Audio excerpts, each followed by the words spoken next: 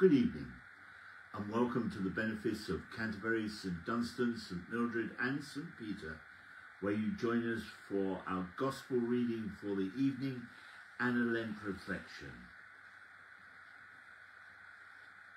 The Gospel reading is from John chapter 7, verses 1 and 2, 10 and 25 to 30. After this, Jesus went about in Galilee. He did not wish to go about in Judea because the Jews were looking for an opportunity to kill him. Now the Jewish festival of booths was near.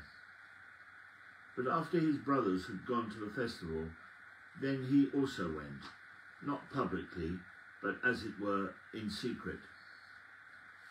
Now some of the people in Jer- of Jerusalem were saying, is not this the man whom they are trying to kill? And here he is speaking openly, but they say nothing to him. Can it be that the authorities really know that this is the Messiah? Yet we know where this man is from. But when the Messiah comes, no one will know where he is from. Then Jesus cried out as he was teaching in the temple, You know me and you know where I am from. I have not come on my own, but the one who sent me is true, and you do not know him. I know him because I am from him, and he sent me. Then they tried to arrest him, but no one laid hands on him, because his hour had not yet come. Reading the Gospels over the last two weeks of Lent, we feel a growing sense of danger for Jesus. As the drama unfolds, the impression of doom continues to grow. In today's reading, Jesus is reported to be travelling and preaching in Galilee. But we are told that he has decided to avoid Judea. He was aware that the Jews in that region were seeking to kill him. However, as the time draws near, many of his disciples decide to travel to Jerusalem for Passover. Consequently, Jesus also decides that he will go to Jerusalem. However, he must have felt some uncertainty about this decision, as we are told that he decided to go in secret. Put yourself in Jesus' shoes. Imagine what it would be like to know that people so hate or fear you that they are plotting to kill you. Jesus was a man of deep love and compassion for all peoples. He had never hurt anyone. Yet he was unafraid to challenge the Jewish officials, and it appears that they were beginning to plot against him as a result. Did these men fully disagree with Jesus' teaching, or were they simply afraid of his popularity and influence with the people? When Jesus arrived in Jerusalem, he was immediately recognized. Given the growing danger he was in, it was surprising that Jesus preached and taught in the temple area. Naturally, not everyone believed in Jesus, especially some of the temple officials. They knew where Jesus had come from in Galilee. How could they possibly think that he might be the promised Messiah? Finally, Jesus had had enough.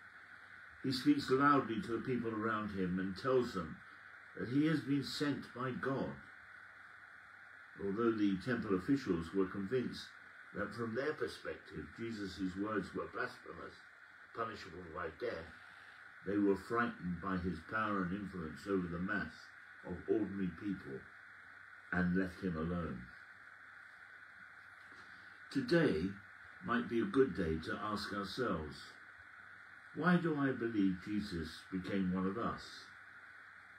And then ask yourself, how does my belief in Jesus shape my understanding and relationship with him? Do I truly believe that Jesus came to the earth for me, as well as for every person on earth? Or is this unfolding drama just too familiar to us? And thus we might allow this familiarity to inhibit us from entering deeply into this mystery.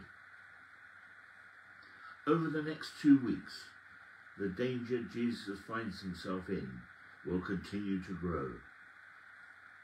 Will we allow this story to unfold in our personal lives? Will we walk and talk with Jesus?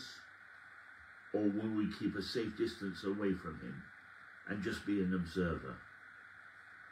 No one else can make this choice for us. In the days ahead, what will we choose? Our for the for Lent. Almighty God, may we by the prayer and discipline of Lent enter into the mystery of Christ's suffering, that by following in the way we may come to share in the glory through Jesus Christ our Lord. Amen. So that was our gospel reading and our Lent reflection for Friday, the 15th of March. We will have another one uh, on, at 6 o'clock on Monday, uh, the 18th of March, uh, and we'll have morning prayer at 9 o'clock on the same day. Have a wonderful weekend, and if you're local, go to our churches. Bye for now.